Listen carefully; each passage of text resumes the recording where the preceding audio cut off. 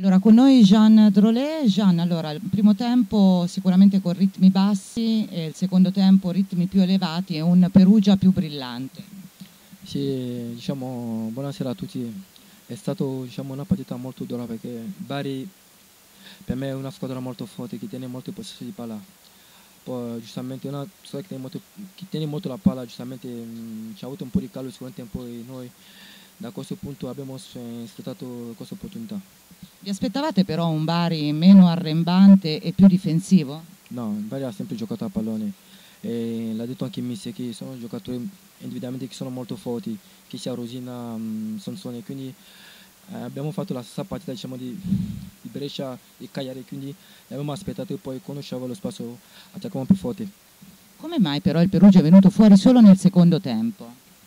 No, diciamo che è stata diciamo, una partita molto basato sulla tattica perché giustamente non potevano uscire all'inizio perché come dicevo hanno giocatori molto molto molto molto molto forti e quindi uh, bisogna aspettare a vedere dove c'è il punto debole e attaccare là.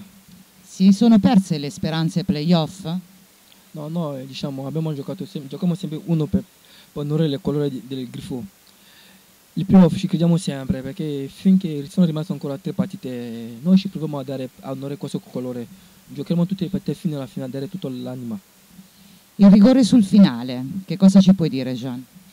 Allora io dico sempre, nel calcio succede sempre gli orari, ogni tanto va bene, ogni tanto non va bene, però devo dire che stavolta il Perugia stanno è stato diciamo, un po' sfortunato su questo diciamo, giudizio degli arbitri. Penso che c'è rigore, se non c'è rigore non fa, non fa, non fa niente, si, si, si, gioca, sono ancora tre partite, dobbiamo pensare all'altra partita, tanto è finita questa partita, quindi passiamo a Livorno ora, ci dobbiamo allenare per Livorno. Andiamo a Livorno, una settimana, una partita, un avversario che ti ricorda delle belle cose, il primo gol in Serie B.